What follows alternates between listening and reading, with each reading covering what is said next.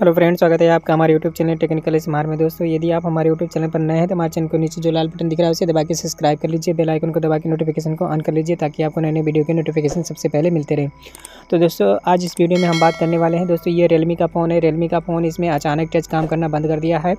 तो ऐसा प्रॉब्लम यदि आपके साथ हो जाता है कि अचानक आपका टच काम करना बंद कर दे या आपका डिस्प्ले हैंग हो जाए या, या आपका माइक स्पीकर रिंगर काम करना बंद कर दे एक साथ तो आपको क्या करना है दोस्तों मैं इस वीडियो में बताऊँगा। तो वीडियो को लास्ट तक आप ज़रूर देखना।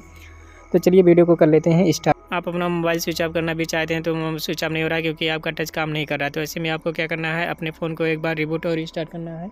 और रिबूट और रिस्टार्ट करने के लिए आपको क्या करना है दोस्तों पावर बटन को प्रेस करके और वॉल्यूम अप बटन को, दोनों बटन को आपको एक साथ प्रेस करके रखना है दस से पंद्रह सेकंड तक। तो आपका जो है ऑटोमेटिक रिबूट और रिस्टार्ट हो जाएगा। तो चलिए आपको करके दिखाता हूँ, यहाँ पे वॉल्यूम अप बटन और जो है पावर बटन दोनों बटन को आपको एक साथ प्रेस करके थोड़ा टाइम तक रखना है। तो आपका फ़ोन ऑटोमेटिक रिबूट और रिस्टार्ट हो जाएगा। चलिए आपको मैं बता दूँ कभी कभी ऐसा होता है कि आप चलाते चलाते आपका टच काम करना बंद कर देता है, आपके डिस्प्ले पर फिगर आना बंद हो जाता है या माइक स्पीकर रिंगर काम करना बंद कर देता है। ऐसे में आपका मोबाइल हैंग हो जाता है और अधिकतर टच हैंग प्रॉब्लम उस सेट में होता है जिसमें फोल्डर चेंज हुआ होता है।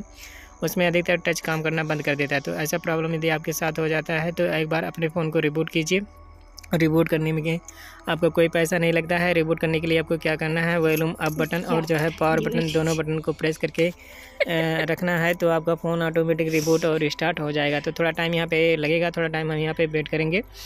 चलिए यहाँ पे थोड़ा टाइम लग रहा है तो तब तक यदि आप हमारे चैनल पर नए हैं तो हमारे चैनल को नीचे सब्सक्राइब कर लीजिए, बेल आइकन को दबा के नोटिफिकेशन को ऑन कर लीजिए, ताकि आपको नए नए वीडियो के नोटिफिकेशन सबसे पहले मिलते रहें। तो यहाँ पे हमारा थोड़ा टाइम लगेगा, थोड़ा टाइम यहाँ पे वेट करेंगे।